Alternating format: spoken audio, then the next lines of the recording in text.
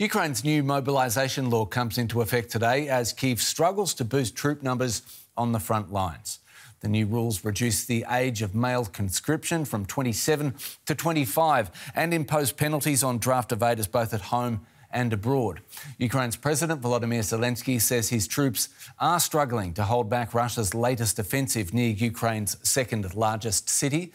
He hopes the new law will help relieve battle weary soldiers. Here, every recruit counts. These volunteers are training to join the 3rd Assault Brigade. For them, the mobilization law will mean that more Ukrainians can join them when they go to the front. Many soldiers have been fighting for more than two years without much respite.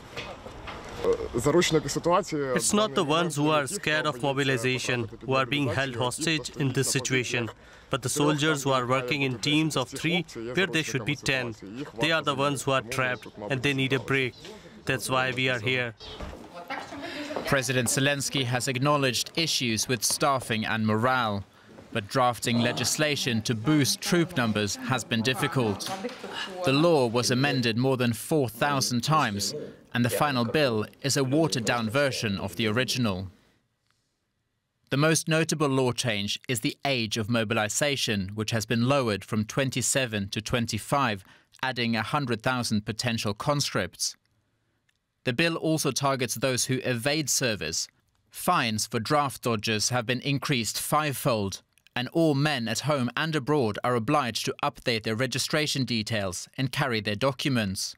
Eligibility for military service has also been revised. People with certain medical conditions who were previously deemed unfit could now be called on to fight.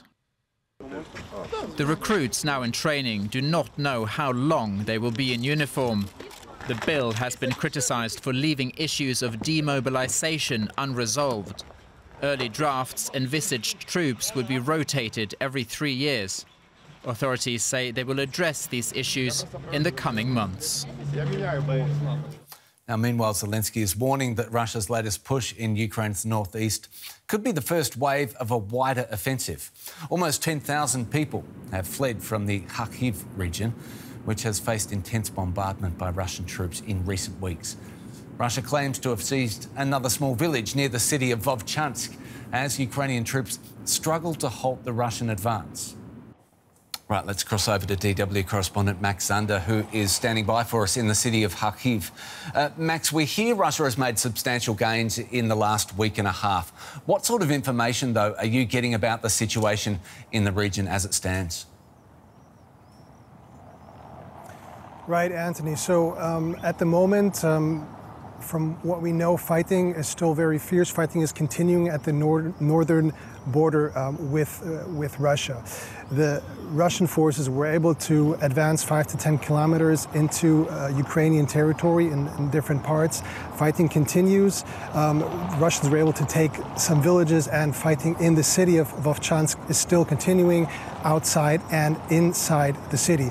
The Ukrainians were quick to react. They were able to um, redeploy and bring in forces from other parts of the front line and slow that advance. Um, and until now, we're able to prevent a breakthrough through uh, their lines of defense. However, the situation um, still remains very, very serious. The Ukrainian president has warned that the fighting um, that could intensify in the upcoming, in the, in, the near future, that uh, multiple waves could follow, and also that uh, there are worries that perhaps in other parts of the northern border with Russia, for example, in the Sumy region, where Russia has amassed troops on the Russian side of the border, there could be a following attack. In addition to that, the situation here in the city of Kharkiv, where we are right now, also remains um, very, very difficult. Uh, Russia keeps continuing attacking with rockets, with guided bombs, keeps attacking um, civilian infrastructure and industrial facilities, as well as uh, residential areas. Yeah, as you say, uh, shells and uh, guided missiles coming in, it brings me to the question what is life like in the city of Kharkiv at the moment with Russian troops within touching distance?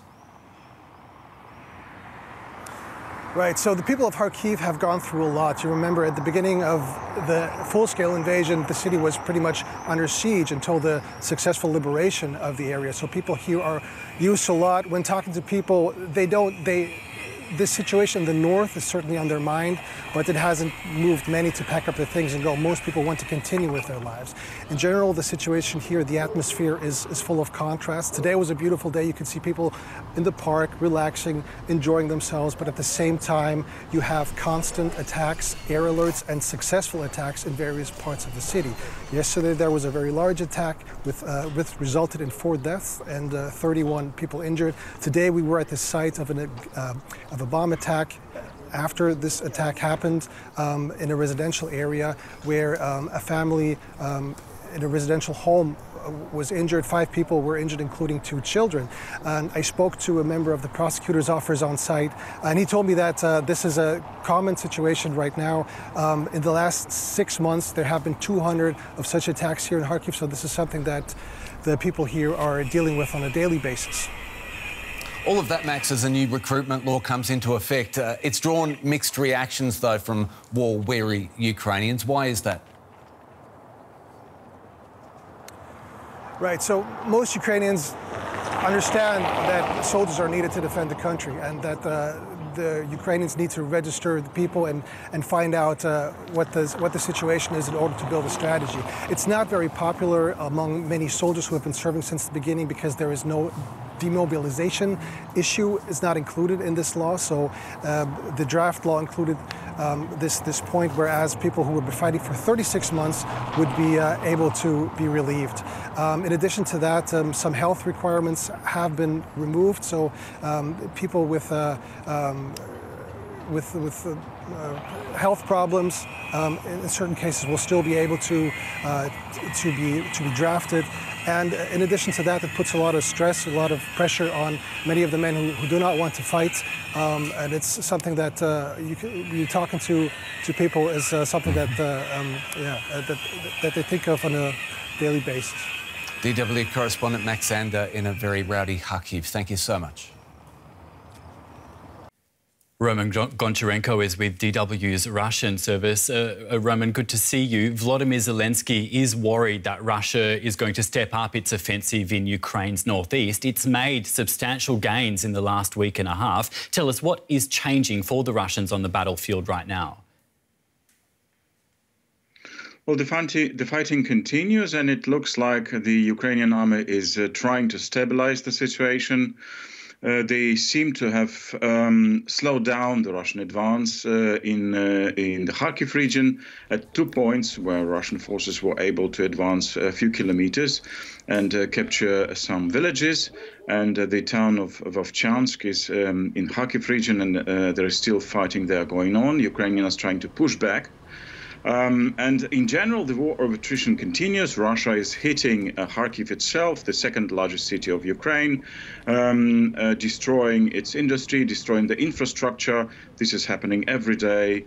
And um, this is what uh, also is, is a major problem for Ukraine. There are now power shortages all over the country, not just uh, Ukrainian citizens, but what's most important, Ukrainian industry, and especially the military industry also has uh, to um, slow down production or uh, change its working hours because there is not enough electricity.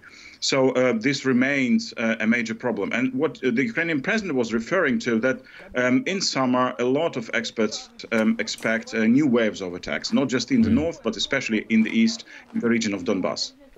Uh, Roman, there's all this pressure on Ukraine and its forces, as you say, but amid all that, there's a new recruitment law that's coming into effect today. But it's controversial, isn't it? Tell us why. Well, um, it is a very important law because, um, as we've heard in the report, and everybody knows that Ukraine uh, needs more men, more soldiers. Uh, so um, Ukraine hopes to do this now with this law, but it will take some time. It's controversial for, I think, for two reasons. First, um, a lot of Ukrainian servicemen and women were expecting um, a, a, rule about demobilization. So they want to know when they can go home. Um, there was an initial um, idea to uh, write down 36 months or three years, but it was um, it was left out. And, then, and now uh, some of them are frustrated. There is an open debate about this in Ukraine itself. And the second reason is that now more people with um, maybe not so perfect health could be recruited. Uh, Ukrainian may now face uh, penalties. They can lose their driving license, uh, other penalties. So the pressure in the Ukrainian society could grow. That was Roman Goncharenko from DW's Russian service. Roman, thanks so much for that.